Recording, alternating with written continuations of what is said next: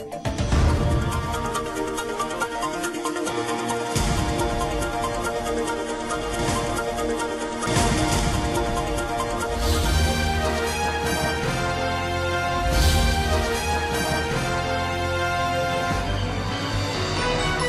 देख रहे हैं दखल न्यूज़।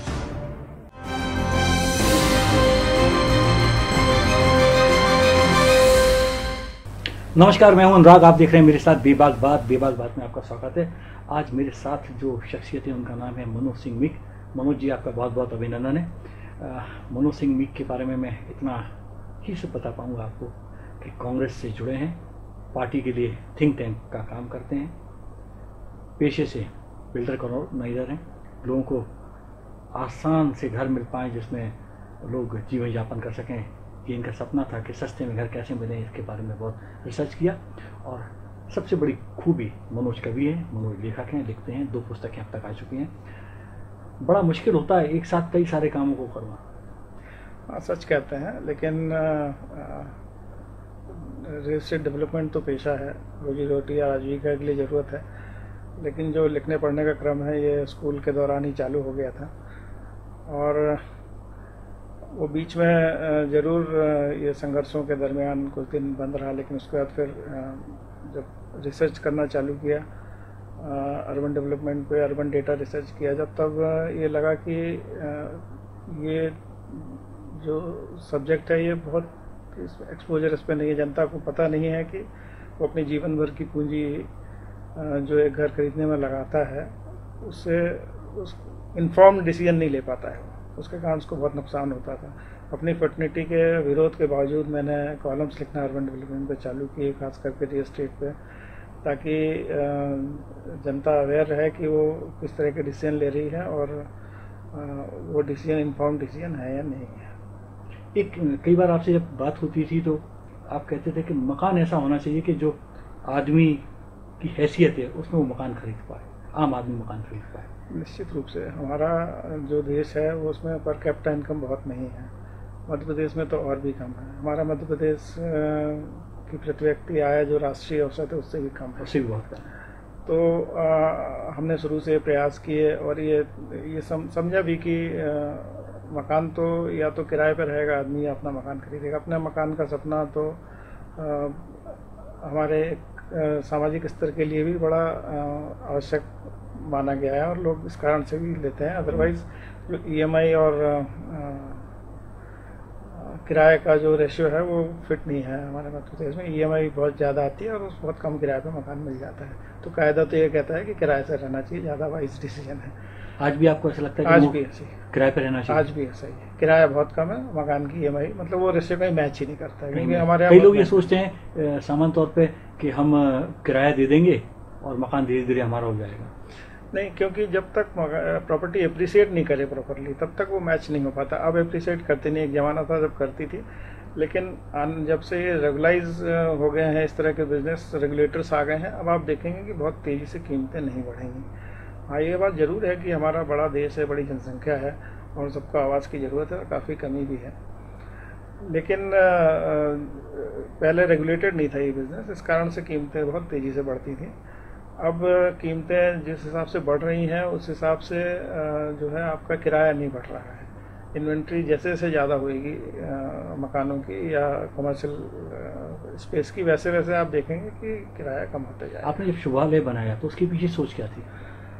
आ, मैं आ, 1985 में जब इस बिज़नेस में आया आ, तब वो दौर था कि कॉलोनाइजिंग या मकान सरकारी एजेंसियाँ बनाती थी हाउसिंग बोर्ड बीडीए या फिर कुछ कोऑपरेटिव सोसाइटीज़ थी जिनको आ, ये अवसर उपलब्ध थे। क्योंकि उस समय अर्बन सीलिंग एक्ट देश का लागू था। तो एक अर्बन एरिया में आप पॉइंट थ्री सेवन एकड़ से ज़्यादा ज़मीन एक परिवार नहीं रख सकता था।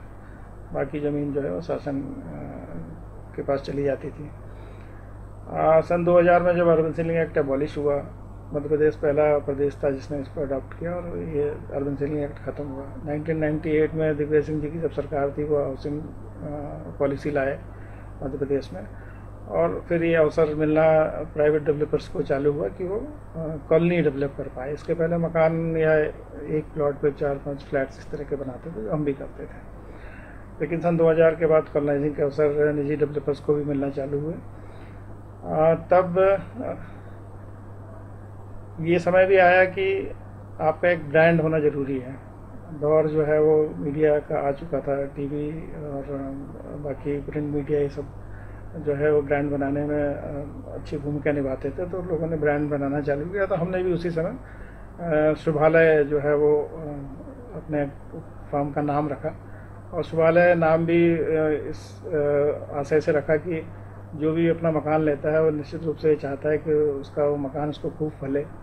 तो शुभ वो आलय उसका शुभ हो ये साहित्य से मनोज बचपन से जुड़े रहे बचपन से कविताएँ करवटें लेती रही मनोज के भीतर इसलिए नाम चयन करते समय भी साफ़ साफ़ देखा मनोज से तमाम सारी बातचीतें। मनोज एक चीज़ और आपसे पूछना चाहता हूँ कि बिल्डर्स सामान्य तौर पर भोपाल में देखा काम ठीक नहीं करते गड़बड़ियाँ करते हैं ग्राहक के साथ धोखेबाजी कर जाते हैं ये बहुत झेलना पड़ा है।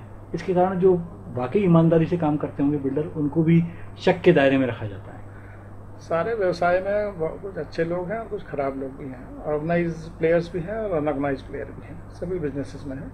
ये बिज़नेस ऐसा है कि इसमें ये बड़ी टिकट साइज़ का बिज़नेस है। इसमें बहुत पूंजी लगाता है कोई भी व्यक्ति। तो वो इसको ज़्यादा बॉदर करते इससे ज़्यादा परेशान होता है। अगर उसको नुकसान होता है तो नुकसान भी बड़ा होता है। लेकिन जो कीमतों का अंतर है एक जो वैध कॉलोनाइजिंग करने में और अवैध कॉलोनाइजिंग करने में वो बहुत बड़ा है। तो आप देखेंगे कि किसी भी शहर में जो लीगल या जो प्रॉपर कॉलोनाइजिंग है उससे कई गुना ज़्यादा इलीगल या अनऑर्गेनाइज कॉलोनाइजिंग या मकान बनते हैं। और जब अनऑर्गेनाइज है या लीगल नहीं है तो निश्चित रूप से वहाँ धोखे की संभावना बढ़ जाती है। हम ने जब से बिज़नेस चालू किया तो ये इस बात का ध्यान रखा कि जो जो श्रेष्ठ सिद्धांत हैं किसी भी बिज़नेस के उनको अपनाया जाना चाहिए। अगर लॉन्ग टर्म आपको बिज़नेस करना है और अपनी साख बनाए रखनी है। क्योंकि किसी भी बिज़नेस में अगर आपने साख नहीं बनाई या प्रोडक्ट ठीक से डिलीवर नहीं किया तो अगला काम करना कठिन क्रीडाई जैसी संस्था फिर इसीलिए बनी। जी फिर क्रीडाई का गठन हुआ नाइन्टी एट नाइन्टी नाइन में। लेकिन भोपाल कढ़ाई में शामिल होने में या मध्य प्रदेश शामिल होने में उसको टाइम लगा लेकिन पिछले दस बारह सालों से मध्य प्रदेश भी कढ़ाई के साथ है। मध्य प्रदेश जो चैप्टर है वो कढ़ाई के साथ है और मध्य प्रदेश चैप्टर के जो पदाधिकारी रहे हाँ, जो शहर है वो, वो भी शामिल है। भोपाल कढ़ाई में मैं लंबे समय से उपाध्यक्ष रहा हूँ और स्पोक्समैन भी रहा हूँ मध्य प्रदेश का मध्य प्रदेश कढ़ाई का। कढ़ाई का गठन करने के पीछे भी कारण यह था कि उन्होंने एक कोड ऑफ़ कंडक्ट बनाया है कि आप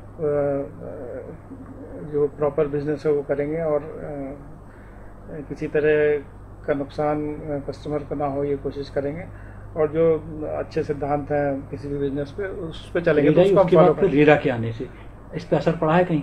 निश्चित रूप से जो कढ़ाई के डेवलपर थे जो ऑर्गेनाइज प्लेयर थे उनको तो रेरा के आने से कोई बहुत भय नहीं उत्पन्न हुआ जो अनऑर्गेनाइज प्लेयर थे उनको ज़रूर हुआ। हालाँकि वो भी अभी अभी भी अनऑर्गेनाइज जो प्लेयर हैं खुलेआम काम कर रहे हैं कोई इस पे कैसे रोक लगाई जा सकती। क्या किया जा सकता है कि लोग ठगे ना जाए? कल परसों रेरा का एक मैं खबर पढ़ रहा था कि अब रजिस्ट्री कराते समय आपको रेरा का रजिस्ट्रेशन नंबर उस पर लिखना पड़ेगा और वो रेरा का जो जो वेबसाइट है या वहाँ की जो इन्फॉर्मेशन है जो डेटा है वो संपदा का जो डेटा है उससे लिंक कर दिया गया है। तो अगर सरकार ये करती है कि जो रेरा रजिस्टर्ड प्रोजेक्ट नहीं है उनके रजिस्ट्रेशन नहीं होंगे तो वो अपने आप अवैध कॉलेजिंग रुक जाएगी। अभी होता ये है कि कोई भी एक भूमि ली जाती है उसके टुकड़े करके बेच दिए जाते हैं उसमें क्या इंफ्रास्ट्रक्चर डेवलप किया नहीं सुविधा किया, है नहीं। किया नहीं किया और ये बहुत ज़्यादा हमारे शहर में देखा जाता है। इस तरह के जो बिल्डर हैं उनको अब जेल जाना चाहिए बहुत अति की है। अब होता ही है कि सरकार से जब इस बारे में बात की जाती है तो सरकार का कहना ये रहता है कि बहुत माइग्रेशन गाँव से शहरों की तरफ़ आता है। अब उसके पास चॉइस ये है कि जितना पैसा उसके पास है तो उसके पास चॉइस ये है कि या तो वो सरकारी ज़मीन पे कब्जा करके झुग्गी बना ले, या उसके थोड़ा बहुत पैसा है तो कम कीमत में जहाँ भी मिल रहा हो खरीद के मकान बना ले। ऐसे में वो सहानुभूति के चलते या फिर सरकार जो उनको आवास नहीं उपलब्ध करा पाती है, इतनी संख्या में माइग्रेशन होता है उसके कारण थोड़ा सॉफ्ट कॉर्नर सरकार का रहता है। और इतनी बड़ी जनसंख्या में मुझे लगता है ये सॉफ्ट कॉर्नर रखना भी पड़ेगा अदरवाइज़ तो लेकिन तो किसी प्रधानमंत्री आवास योजना जो आई है उसके कारण बड़ा लाभ हुआ है। हाँ लेकिन अब ये धीरे धीरे इस पर लगाम लगाई जानी चाहिए क्योंकि आमतौर पर देखा गया है कि इसमें जो लोग सक्षम हैं थोड़े बहुत वो भी इलीगल कॉलोनाइजिंग में चले जाते हैं मकान लेने के लिए सिर्फ़ सस्ता मिलने के कारण। बाद में ज़रूर परेशान होते हैं कि उसका कोई उसको ना कहीं मॉडगेज रह सकते हैं, ना उस पर लोन मिलता है। और वो मतलब पीछे अपने बाद अपने वारिसों के लिए कोई अच्छी संपत्ति नहीं छोड़ जाते हैं। वो धीरे धीरे अवेयरनेस आ रही है, लेकिन जो कीमतों में फ़र्क है वो बहुत ज़्यादा है। जब तक वो फ़र्क कम नहीं होगा, तब तक ये समस्या मुझे लगता है बनी रहेगी और सरकार जब तक दखल नहीं देगी इसमें, तब तक ये समस्या मनोज प्रोफेशनल कांग्रेस मध्य प्रदेश में अभी पदाधिकारी हैं। उसके पहले 1982 से लेके अब तक एन के ज़माने से लेके यूथ कांग्रेस तक तमाम सारे विभिन्न पदों पर कांग्रेस के रहे। कुछ बदलाव कांग्रेस में लगा इस दौरान? जब हम कॉलेज में थे, मैं पहला साल जब कॉलेज का था, तभी कांग्रेस की विचारधारा से जुड़ाव हो गया था। मैंने आई 1982 में ज्वाइन किया। दोनों तरह की विचारधाराएँ उस समय कॉलेजेस में थी। ए भी हुआ करती थी एन भी हुआ करती थी। लेकिन जो समावेशी विचार था वो कांग्रेस के साथ था। तो इधर रुझान ज़्यादा रहा। उस समय की राजनीति बहुत अलग थी। उस समय के जो लीडर्स थे, सीनियर, वो उनका काम करने का तरीका और आज में बहुत फ़र्क है। उस समय विरोधी पार्टियाँ भी बहुत कम थी। तो उनका कोई, उनकी सत्ता का कोई बहुत एक्सपीरियंस भी हम लोग को या कोई नज़रिया बनाने का मौका हमारे पास नहीं था आज जब हम देखते हैं दोनों मुख्य पार्टियाँ जो देश की हैं उनको देखते हैं तो समझ में आता है कि कांग्रेस जो अपनी विचारधारा से चलती रही इतने दिनों उसको काफ़ी अपग्रेड करने की ज़रूरत लगती है। बदलना चाहिए कांग्रेस में क्योंकि सामने जिनसे आपका मुकाबला है वो बहुत ऑर्गेनाइज तरीके से राजनीति कर रहे हैं।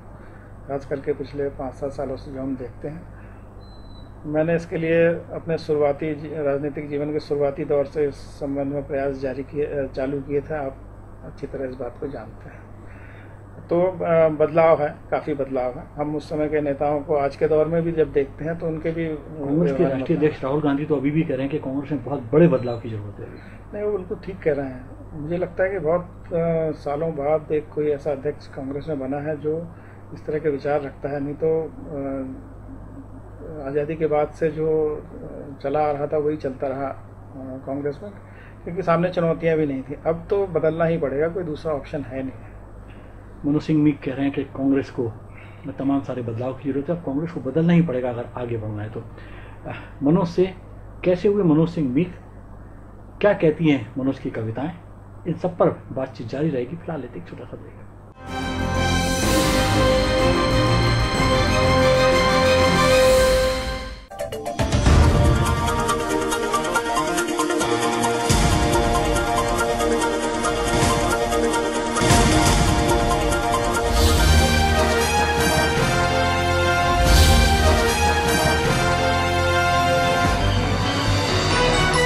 देख रहे हैं दखल न्यूज़।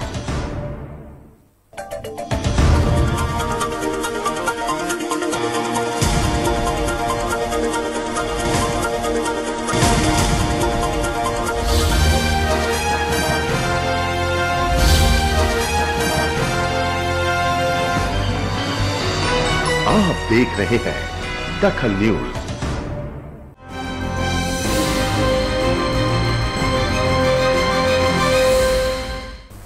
बात में आपका एक बार फिर से स्वागत है। मेरे साथ बहुमुखी प्रतिभा के धनी मनोज सिंह मीक स्टूडियो में। मनोज जी, मीक कैसे हुआ मनोज सिंह तक तो समझ में आता है।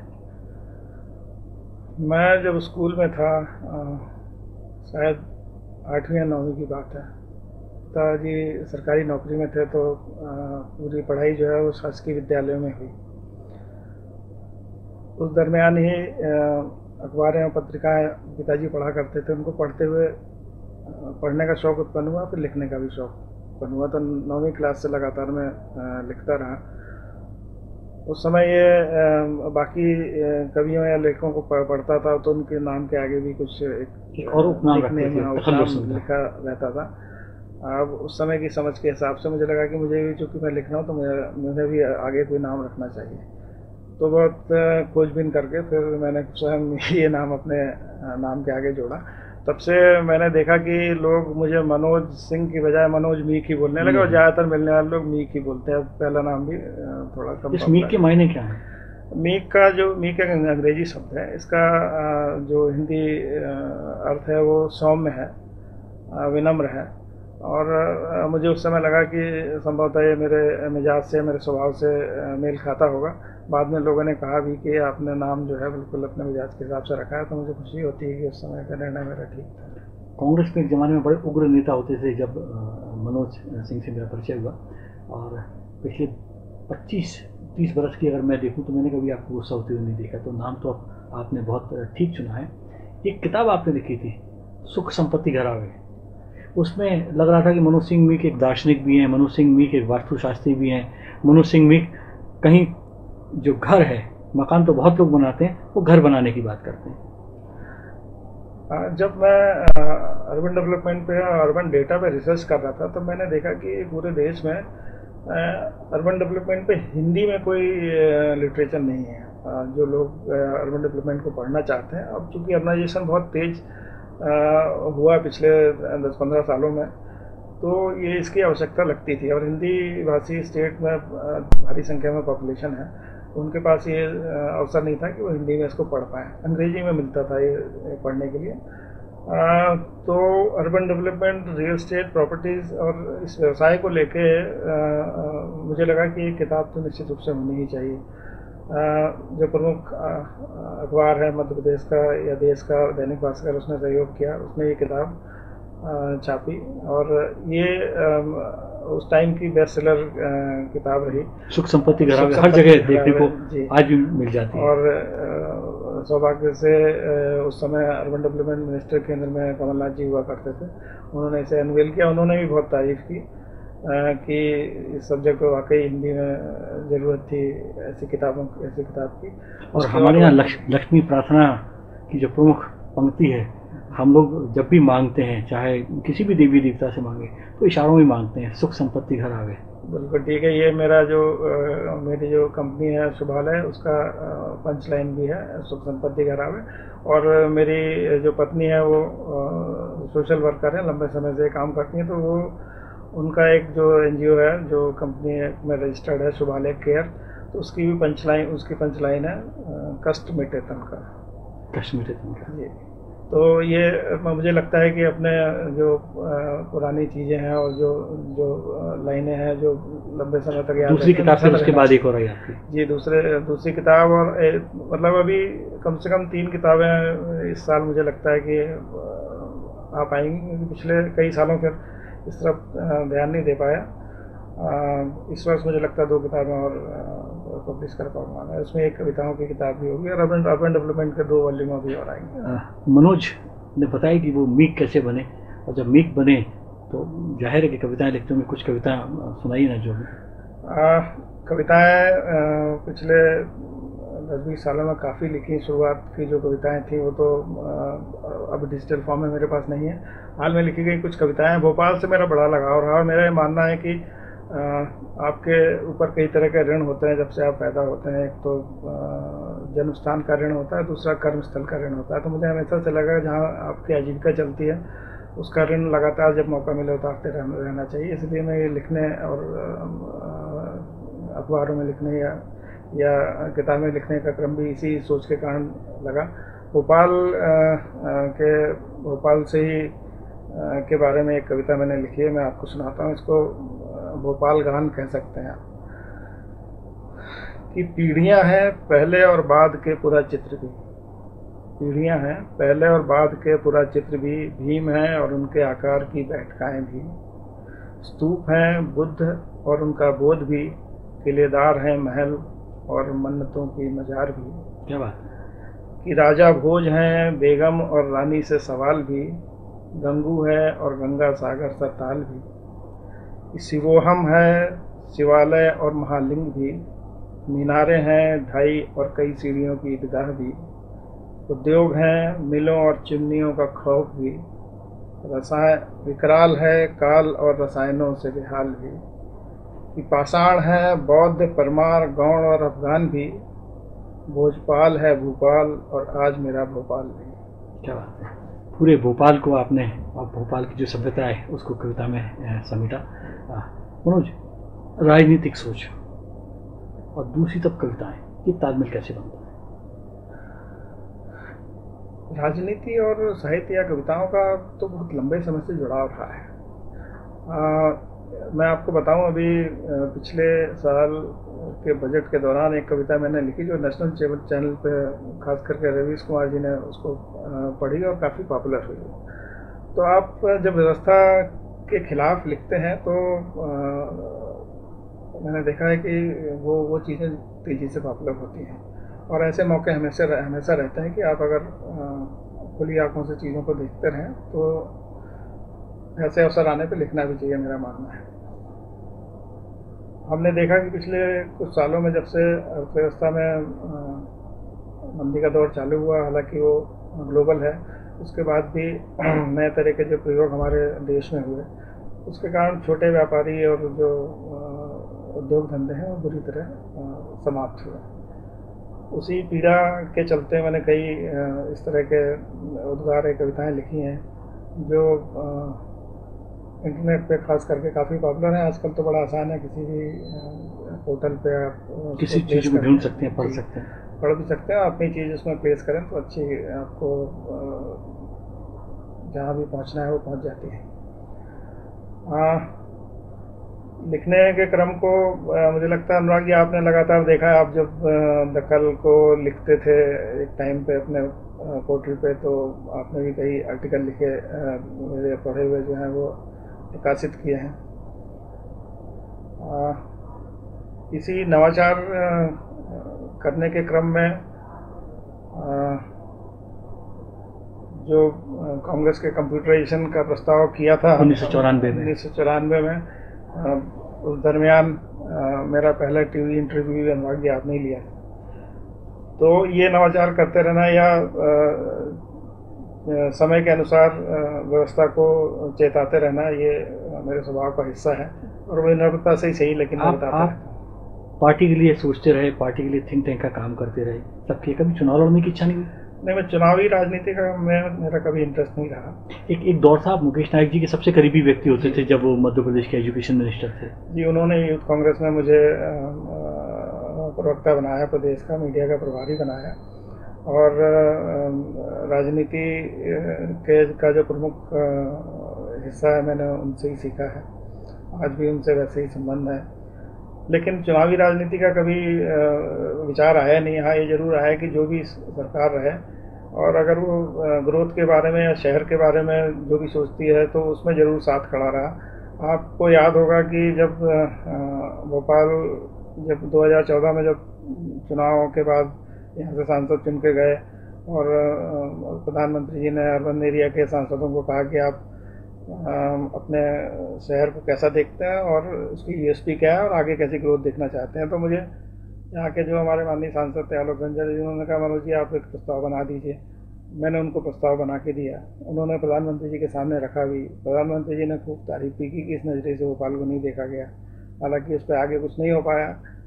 अभी लोकसभा चुनाव के दौरान दिग्विजय सिंह जी ने मुझे कहा कि आप भोपाल मैं भोपाल पे एक विजन डॉक्यूमेंट जारी करना चाहता हूँ आप देखिए। मैंने जो भी मुझसे बन पढ़ा मैंने किया।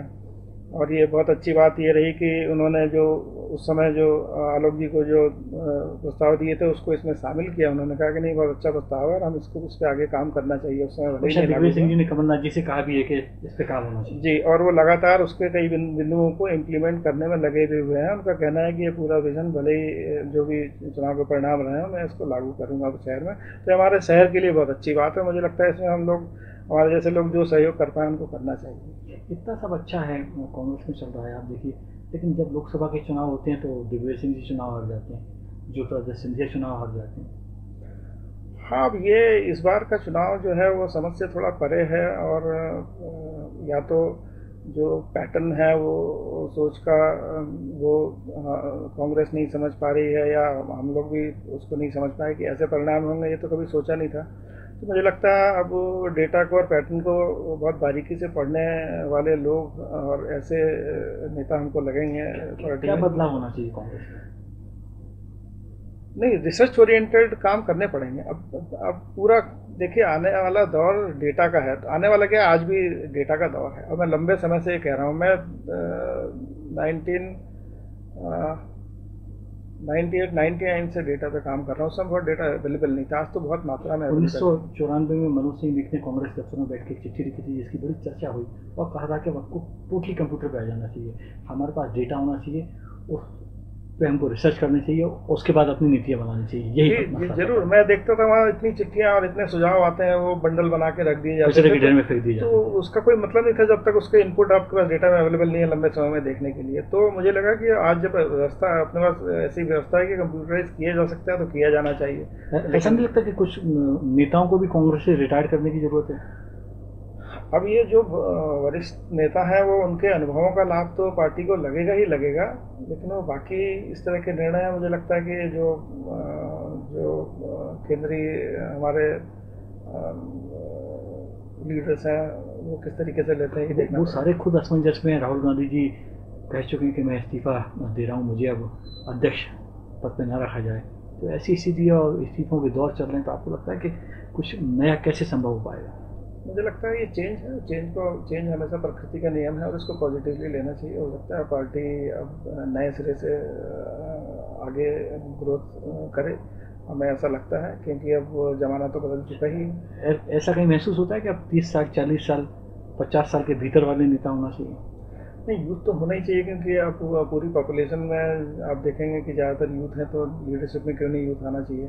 आना ही चाहिए। और उस, उनकी जो ऊर्जा है, उसका इस्तेमाल मिलेगा उनका जो आज हम, हमने और आपने जो पढ़ाई की है और आज के बच्चों ने जो पढ़ाई की, आज उनका जो एक्सपोजर हमारा एक्सपोजर में बहुत ज़मीन आसमान का फ़र्क है। तो उनको हम नहीं लेंगे या उनके साथ इंटरेक्ट नहीं करेंगे, उनको लीडरशिप नहीं देंगे तो मुझे लगता है कि हम पीछे तो कहीं ना कहीं रह ही जाएँगे, उनको आगे तो लाना ही पड़ेगा।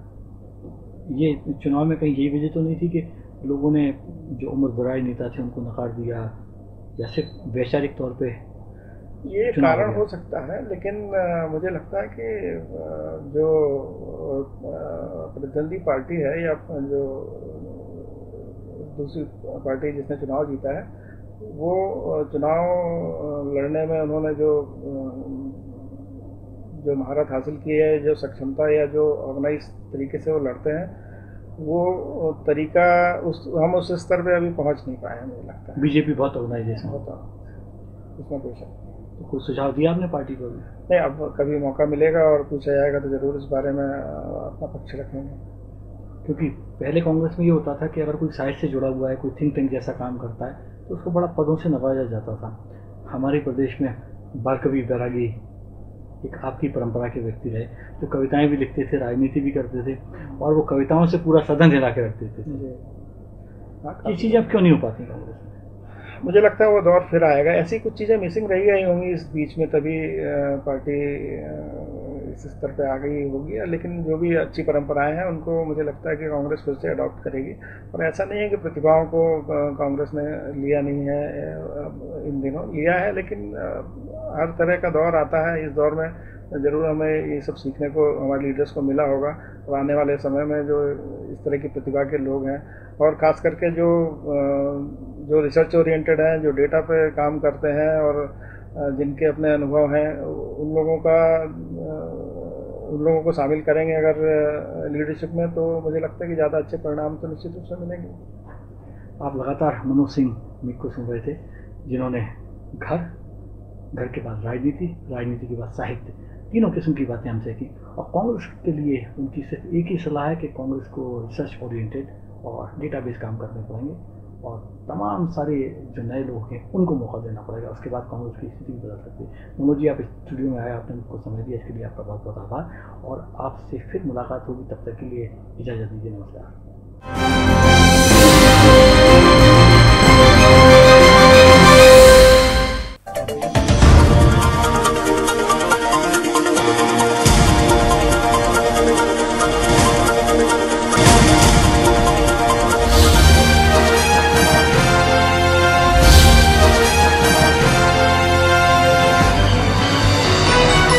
देख रहे हैं दखल न्यूज़।